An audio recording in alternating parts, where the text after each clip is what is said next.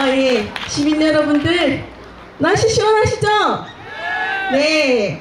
어, 다음 곡은 저희 대표곡인데, 어, 토요일을 제일 좋아하는 여자 박소라인데, 저희 타이틀곡 토요일 밤에 들려드릴게요. 함께 합시다.